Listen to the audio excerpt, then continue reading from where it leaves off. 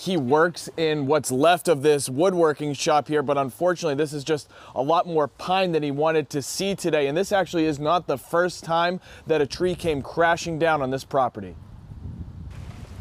Usually I'm in the shop at, the, at that hour. It was about 10:30, 11 o'clock. Steve Purrington counting his blessings this evening that he wasn't inside of this woodworking shop in Wakefield when this massive pine tree came crashing down. It hurts.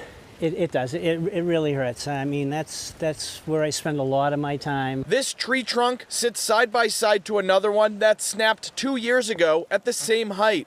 That one dodged the homes here. This one did not. The tree is not dead. There's plenty of life in that tree. So it was the wind that actually forced it to snap. It's a similar scene across the entire area north of Boston, in Cambridge, in Reading, and in Hamilton. Trees down on homes and vehicles. On Plum Island in Newbury, the wind so strong it blew this plane off its ties, upside down, then back upright again. The wing left damaged. And in Lynnfield, this. And the whole house shook. I mean, I, I, I thought it was going to be, you know, bad. I didn't think it was going to be this bad.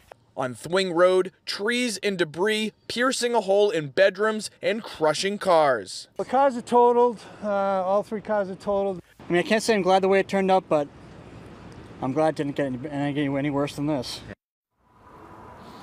Yeah, remaining optimistic is the key, especially this holiday season. That's what everyone we spoke with today is doing, keeping optimistic, keeping in good spirits. Now, luckily, speaking of good spirits, the rain here has finally pretty much stopped. Now the cleanup process begins.